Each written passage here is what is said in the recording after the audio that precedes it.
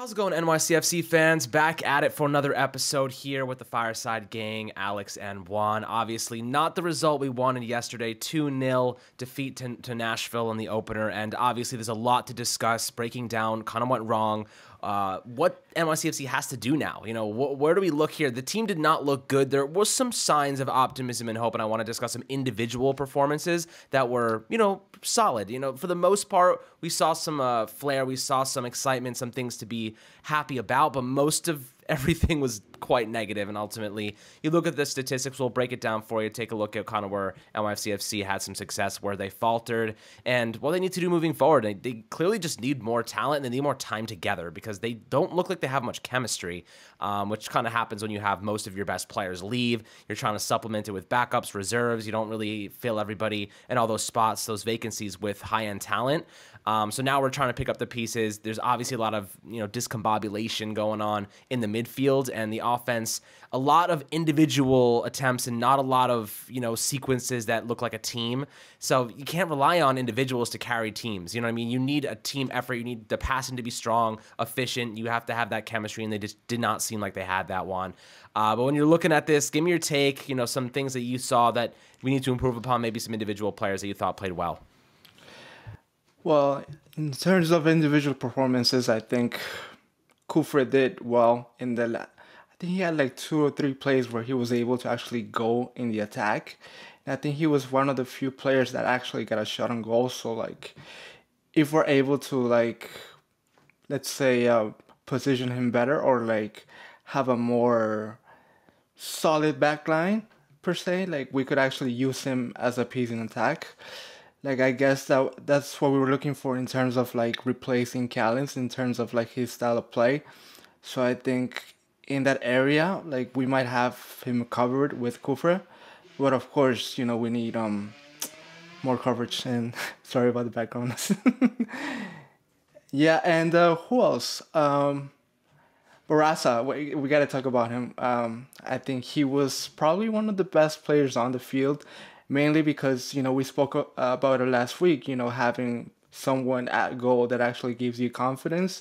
He did have like a one-on-one chance that he saved pretty well, and you know he was able to cut some crosses. You know, very good anticipation in terms of um, you know uh, anticipating the attack, but far from it. Like the rest of the team was like great, and you know, and then Ch- Chanot in the in the defense at least in terms of like le- leadership, I think he was well.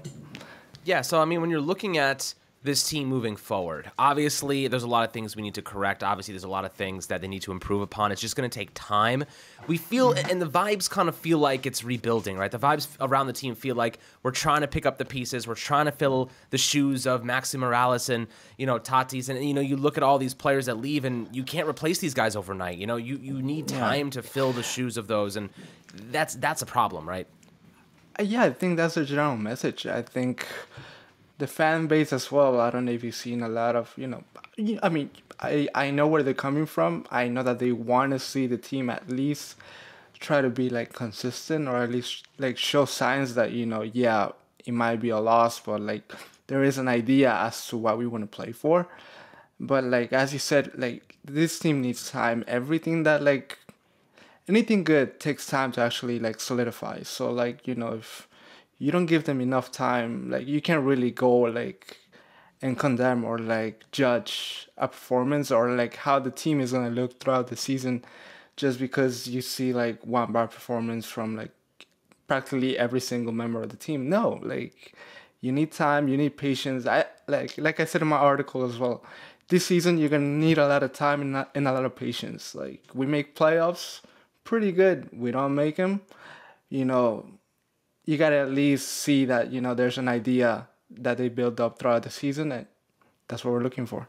Yeah, I mean, look, right now playoffs, we have a long way to go before we are good enough to be in the playoffs, losing all of those big players. But let's talk mm-hmm. about some of the, st- the, some of the statistics that kind of indicate where this team is right now. So, mm-hmm. looking at time of possession, right? NYCFC ended mm-hmm. up with 62% mm-hmm. of possession, Nashville 38%. Shots on goal, Nashville had nine, um, or rather just shots. Shots on goal, they had four. NYCFC had also mm-hmm. had nine shots, but only two on goal. So the attempts were there. They had opportunities. Mm-hmm. A lot of them just were not on goal.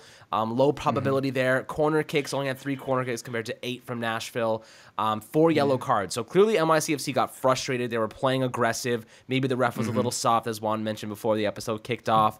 Um, Yeah, each had two was. saves. It's tough, you know. It, it, it's sometimes you're on the on the on the wrong end of those yellow cards. Yeah, I think you know. Um, I think Nashville was well aware that this team was not going to be as solid or or as consistent as you know previous times. I mean, on paper as well, it's not like we're not like perfect on the road. And against Nashville, I think we only won once before, like throughout the seasons, like you know playing against them. So, you know, looking at numbers as well, I think um, they go based on that as well. But um, yeah, I think the ref also, you know, like as you said, kind of was not that biased.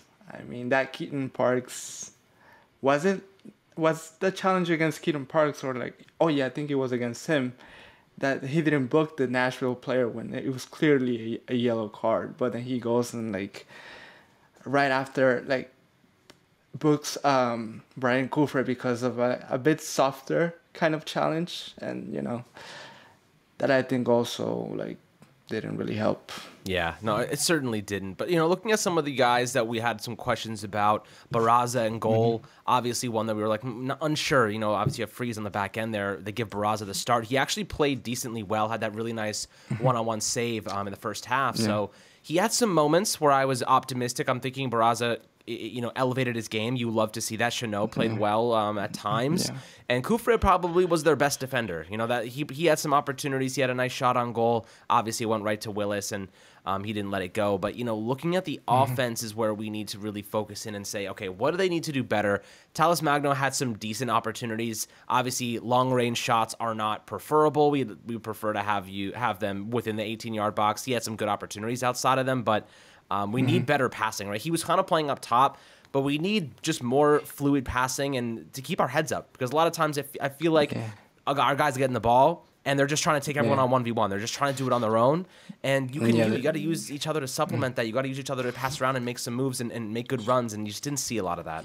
Yeah, did you see how? I mean, when uh, Talles Magno, you know, did take on two and three, he was able to like isolate uh, GP Gabriel Pereira, but like you know when he had the chance to actually like give him the ball and like for him to create a space or create a chance, he kept on trying to like take on more defenders and like creating the shot, which is something that I think he should improve on. I know it's only the first game, but like if you see that you have an open player, like I know that it's easier said than done because we're watching it from like you know home, but like you know I'm pretty sure that you know you train those type of chances and you know as a player you know when to pass the ball or or you know how your teammate is gonna move. So like I think that if he keeps doing that moving forward, like I think okay, he's not gonna be like that number nine or he's gonna take time to settle in that role. But you know, like pass the ball. pass the ball and like, you know, we need we need to we need to score and I don't know, do you think that NYCFC should go for a number nine and keep uh, Ta- uh, Magno on the wing? So you know, I, I kind of feel like a number nine would be good because Talles Magno is not a is not a striker. It's not a nine. He's not a It's he's not, nine. a Yeah. striker. That's not his mm-hmm. game. It is clear as day. Mm-hmm. If they're utilizing him as a striker, it's because we don't have a better option and they want their best attacker mm-hmm. forward. The problem with that is Magno, like you said, he's very good at isolating other players because he draws so many defenders to him. He's capable of dribbling through two, three guys. The problem is his he gets that mentality that when he starts to dribble, he doesn't want to stop. And that's where Yeah. you see and, and, and for what it's worth, I'm gonna take it to a whole nother level. Look at guys like Neymar when they when they came when he went from Santos to Barcelona. That was his biggest problem. I mean, his biggest problem was that he would try to dribble the whole team and he wouldn't pass the ball off. Once he realized Exactly. that you know playing that tiki taka, playing those those passes out, you know you can dribble one or two guys, but you then get rid of the ball and, and make a move and get your, get into space Yeah. and present an opportunity uh, to get the ball back. Magno oftentimes can dribble through two or three guys, but he doesn't pass that off, and then he gets the ball taken away.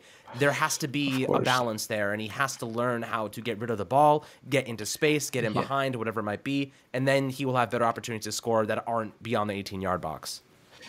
exactly. I think that's what happened yesterday too. It's just that you know he goes dribbles one, two, you know, and then the rest of the team like goes behind him. But like the moment that he loses the ball, like the team is not positioned well to actually uh, run back and defense. So like I think um, that also like affected NYCFC yesterday in terms of like goal creation as well.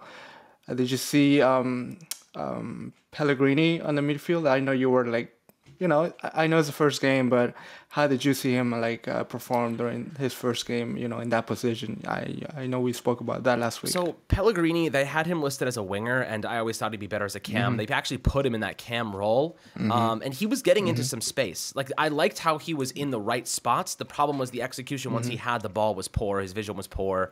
Um, but he looked uncomfortable. Like I don't know if you noticed that too, but every time he had the ball, yeah. he just didn't look like yeah. he knew what he was going to do with it. And I think that was a lack yeah. of chemistry and a lack of playing time with the guys around him. He just doesn't understand their game yet.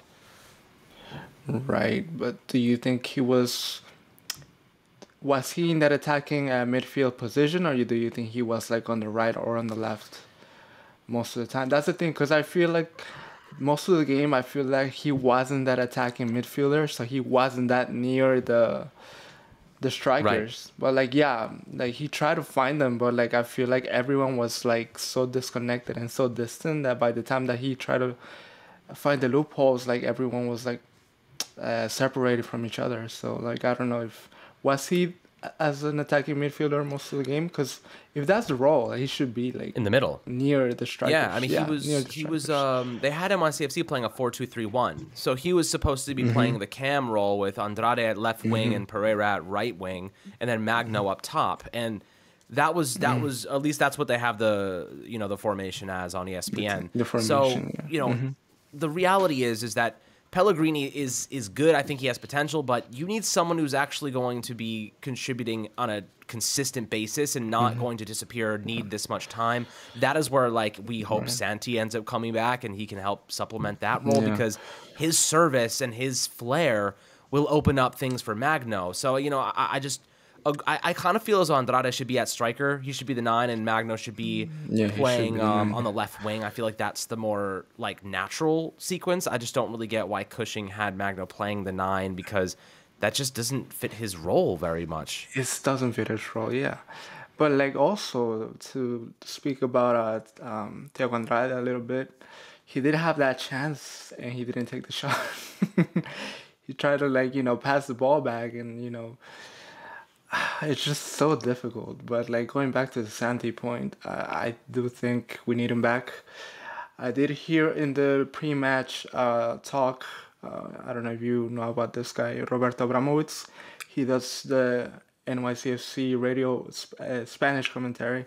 He mentioned that the team is not like really looking to stop bringing in players. So like he's gonna have like at least two or three more, and I hope you know that's the case uh, given that you know aside bringing in Santi and um I forgot the other name.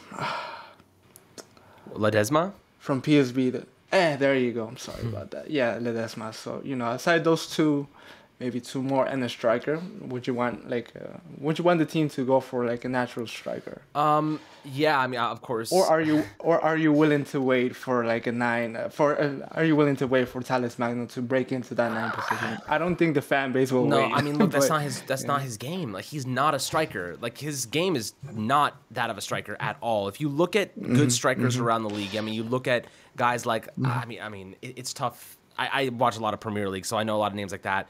Um, yeah, you, you can. The only that. guy that I can ahead. see Magno replicating. If I was Magno, you want to know who I would be trying to mimic? Gabriel Jesus. Who? That is the type of player oh. I think he oh. could be like. You know, got some good flair. Yeah, Obviously, yeah, both Brazilian, so they both have mm-hmm. that flair. They're mm-hmm. not like burners. Gabriel Jesus is not a fast guy, but he's very technical and yeah. he's a good finisher. But he passes the ball off and he's very smart with his decision making. So that is where I mm-hmm. could see him filling a role similar to Gabriel Jesus. Problem is, Magno plays mm-hmm. like a left winger. He plays like he's dribbling through everybody. He plays with that aggressive mm-hmm. mentality, and that's not what strikers are supposed to do unless you're Cristiano Ronaldo in your prime, and that's not that's not anybody. That's not him. Yeah. It's not him. Exactly. I think we've discovered that for the last two Yep. seasons that among the fan base. You can see other podcasts as well that they're not with the idea that Talles Magno should be used Mm-hmm. as a nine because that's not his position. But you know, hopefully, you know, we bring in reinforcements that like actually like help him uh, contribute the way like he knows how to. Because I think we're losing a spot and we're losing a True. player if we don't use him in the right position. I think that's in general, like in the game, you know, like if you don't, if you play someone out of his position, you're not gonna get the best out of him. Right. The problem is a lot of like the big names and stuff that you know. You look at Higuain retired after this season. He's a true nine. He's a mm-hmm. true striker. He's you a look true at nine. though the you you said you you mentioned something about money, like the NYCFC NYCFC not really wanting to spend a ton of money. The problem is is that you go mm-hmm. over and look at like China or Saudi Arabia, and they're handing out cash. Tons of it to these veteran players, and, and the NYCFC is not going to match that. So they're trying to bargain bin some guys, and it's not working. Mm. But like I think in that aspect, I think it's because due to the league's Totally. like salary Absolutely. cap. So like you know that I mean, once that's gone, I think a- any team is gonna be able to like you know what, bring Messi. Miami almost did it. I think I think that's what Inter Miami. Yeah, I think that's what Inter Miami is kind of like Yeah. waiting for. The salary cap to be gone, and then you know bringing Messi and. But that that's you know down down the Definitely. line. Totally not NYCFC. And, and for what it's worth, I hope to God that Messi does not come to the MLS yet because he is still playing at the top of his game. He he needs to be playing with the best teams in the world because we need to enjoy the beautiful the beautiful game he brings, the beautiful style he brings for a couple more years before he you know comes to MLS and really helps us uh, build things up.